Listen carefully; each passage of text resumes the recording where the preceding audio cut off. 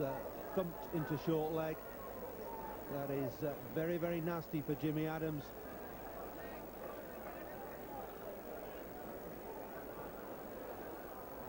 This was very powerfully hit and went straight into that right arm. That hurt. I hope it's not broken. This is, look at this, he's fielding two yards from the bat in front of square and has taken that full on the forearm, straight out of the middle of the bat. And I'm not surprised he's going off.